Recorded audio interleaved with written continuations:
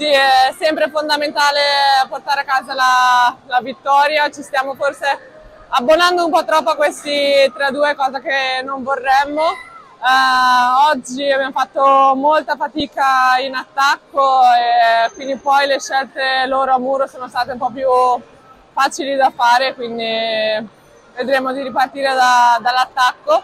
Complimenti a Busto, però bene che abbiamo portato a casa i due punti.